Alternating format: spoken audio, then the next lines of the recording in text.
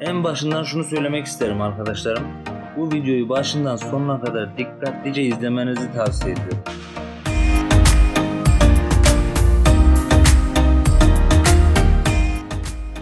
Gelecek Toprakta kanalından selamun aleyküm arkadaşlar. Uzun uğraşlar sonucu elde edilmiştir fosforla ilgili bilgiler. Sizler için organik materyaller yani ahır gübresi araştırması yapılırken karşımıza çıkmıştır. Winchester Üniversitesi olması lazım. Onun arşivlerinde yapılan bir tezde gördüm. Sonra da bunu çiftçimiz için bir video haline dönüştürme kararı aldık Gelecek Toprakta olarak. Buradaki bilgilerin hepsi arkadaşlar altın değerinde. İnşallah istifade olunur.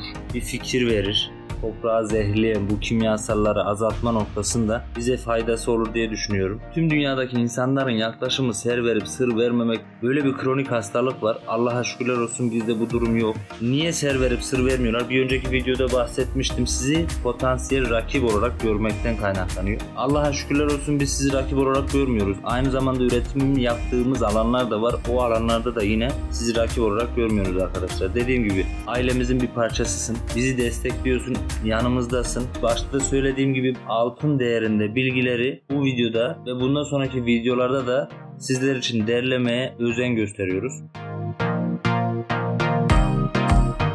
Bilindiği üzere toprakta kaliteli verim, aynı zamanda lezzetli ürün yetiştirmek için toprakta yeterli miktarda azot, potasyum, fosfor, başlıca bunlar olmak üzere bir takım vitamin ve mineraller bulunmak zorunda.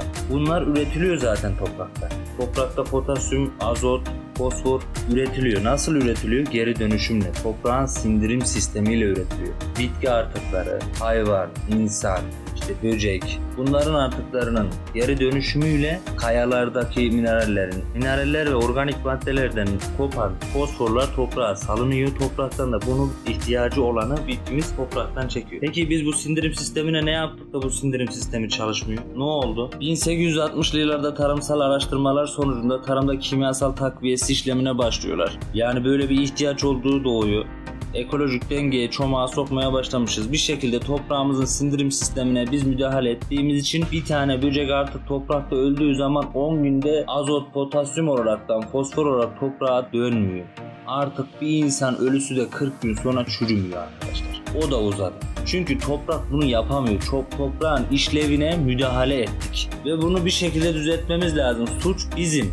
Suç bizden öncekinin ve biz şu an körükleyerek gidiyoruz.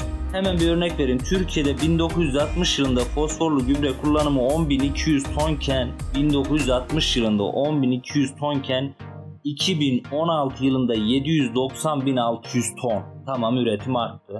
İnsanlar arttı, nüfus arttı, bir şekilde her şey arttı. Bize bunun organik yolunu da hiç kimse söylemedi. Ben videonun başında da söyledim. Winchester Üniversitesi Türkiye'de mi? Değil. Adamlar bunu neden araştırıyor? Onlar şu anda biyo gübreyle çalışıyorlar. Organik gübreye dönmeye çalışıyorlar. Herkes kendi toprağını korumaya çalışırken biz maalesef koruyamıyoruz. Bize kimyasalı tavsiye ettiler. Kendileri kimyasalı kullanmıyorlar arkadaşlar. Şimdi en kritik yere geldim. Bu kadar boş boş konuştuk arkadaşlar. İnşallah sıkılmamışsınızdır. Fosforu toprağımızın alabileceği forma getirmeyi bir şekilde çözdüler.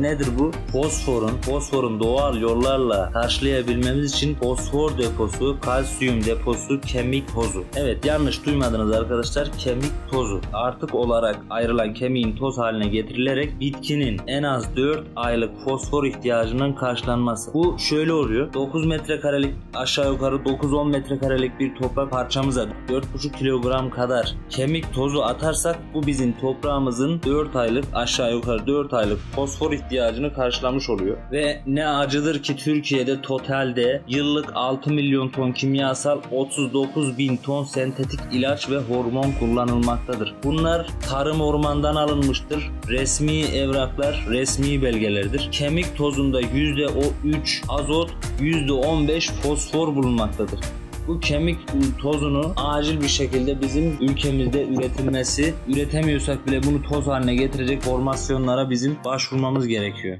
Şimdi değerli izleyicilerimiz, takipçilerimiz, toprağına organik materyalleri nasıl sağlarım derdinde olan insanlar gelecek kaygısı, gelecek endişesi içerisinde olan insanlar insan olma vasfını taşıyoruz. Yani insanlık nedir? Burayı bu toprağı kullandık, kiracısıyız. Geri emanetimizi iade ederken buna iyi bakıp bakmadığımızla alakalı bir problemdir. Fosfor noksanlığının belirtileri var. Neler? Cansız, zayıf ve yumuk çiçek oluşumu. Yaprakların önce koyu yeşile sonra mavi yeşile daha sonra da kırmızı ve kırmızımsı mor renge dönüşmesi. Köklerde zayıflama, cansızlık, emici tüylerin yeterince oluşmaması, sürgünlerde kısalma, incelme ve ipliksi gelişme, boğum aralarında daralma, küçük ve şekilsiz meyve oluşumunun yanında çekirdek sayısında azalma. Çekirdek gelişim bozuklukları ve raf ömründe kısalmalara sebep olmaktadır. Hemen atlamadan söylüyoruz. Bu kemik e, yapılan araştırmalara göre kemik ununun toprakta bitkimizin rahatlıkla alabilmesi için elverişli bir pH değeri var ve bu 7 üzeri olmamalı, 5.5'tan da az olmamalı. Ve biz bu uygulamayı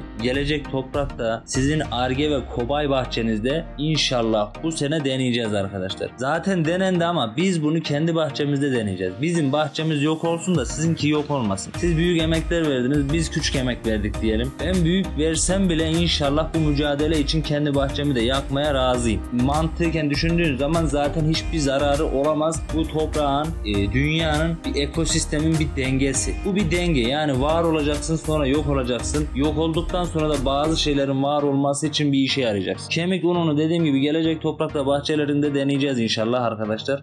Diyeceklerimiz şimdilik bu kadar. Allah'a emanet olun arkadaşlar. Kendinize dikkat edin. Hoşça kalın.